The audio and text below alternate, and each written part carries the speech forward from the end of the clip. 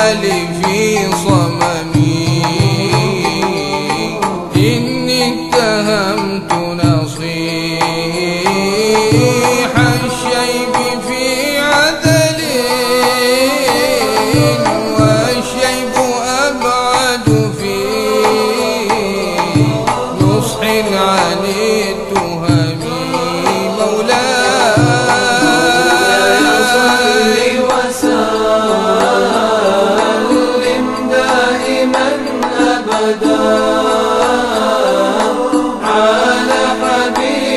ka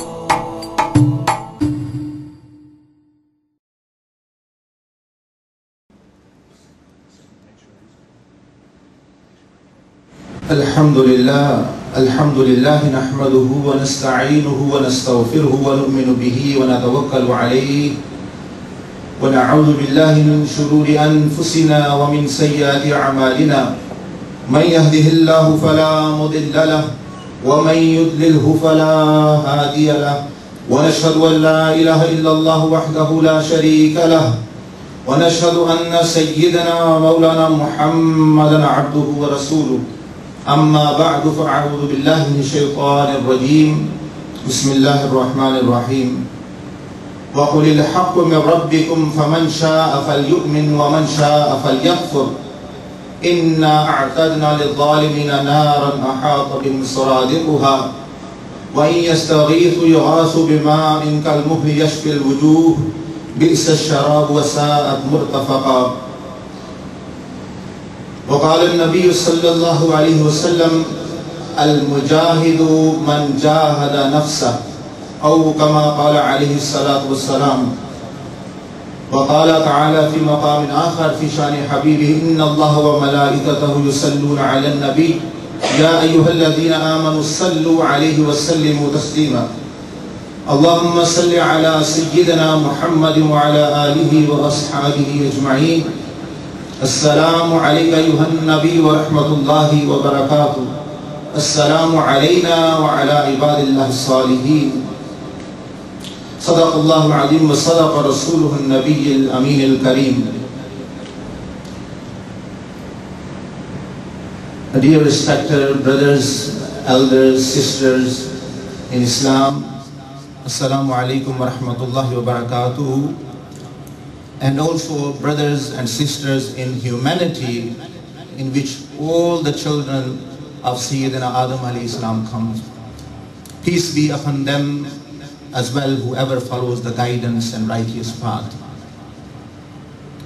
We begin by praising Allah subhanahu wa ta'ala for his infinite blessings and ni'mats upon us and peace and blessings of his be upon his most beloved most venerable, honorable, and the final prophet and messenger, Sayyidina Muhammad sallallahu alayhi wasallam, and upon all the prophets from Sayyidina Adam to Sayyidina Muhammad sallallahu alayhi wasallam, including Sayyidina Musa alayhi salam, Sayyidina Isa alayhi salam, and all of his companions and righteous people, the Salihin, the Awliya, the Sufiya, the Fuqaha, the A'imma, and on entire ummah of Rasulullah sallallahu.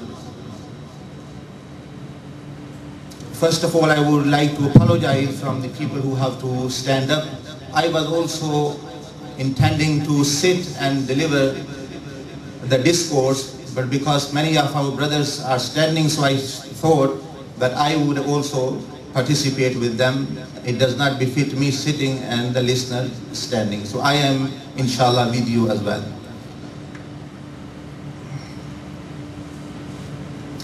Today's uh, topic which our brother have introduced four stages of self-purification.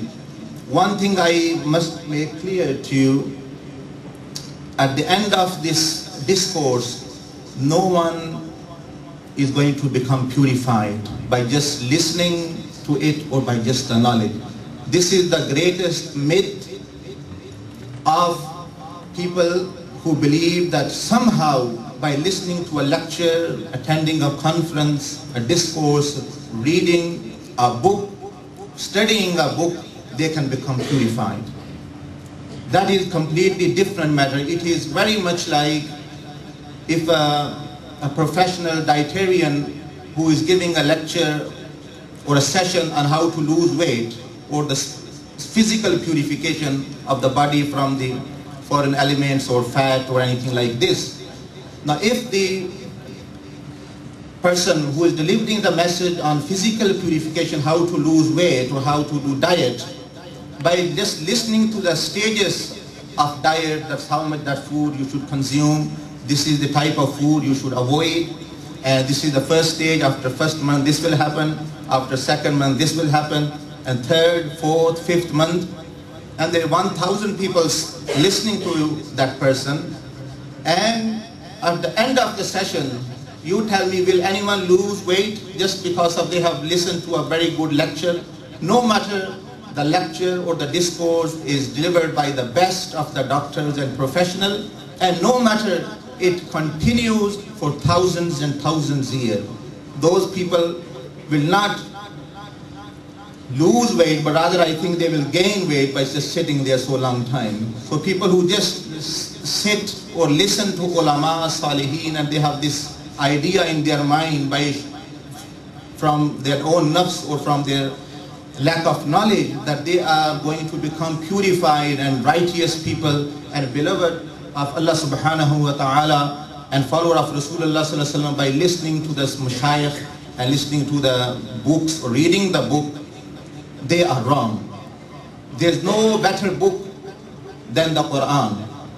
And there's no better guidance than the guidance of Rasulullah. And a person does not become righteous just by reading it. As I gave you the example which explains very well that just to listen how to lose weight, you don't lose weight. Simply just to listen how physical, spiritual purification takes place, you don't become. That was the actual field of like there are physical doctors, there are spiritual doctors, spiritual physicians, which were known as the Sufiya or the ulama ba'amal or the people of practice and sincerity that who taught this fun and this skill and this science to those uh, old people. Imagine, just give you one example and then inshallah we carry on with the presentation. Sayyidina Abdul Qadir al-Jilani one of our mashayikh, he is not one of our mashayikh, of all the Muslims, even the people who do not have good view of Sufiya and the scholars they follow, they also believe that he is their sheikh. Like Imam Ibn Taymiyyah, rahimahullah, he mentioned in his book in Fatawa, he said that my Sayyidina, Sayyidina Abdul Qadir al-Jilani, Imam Ibn Taymiyyah refers to him as a, his master as well. And his great student and great scholar of Islam, Imam Ibn al-Qayyim Jawziyah, he also mentioned his book as a great sage and luminary and great master of this ummah of Rasulullah sallallahu. So Sayyidina Abdul Qadir al-Jilani he was born as a saintly person, righteous person, righteous man. And his childhood signs of sainthood and walayat was apparent.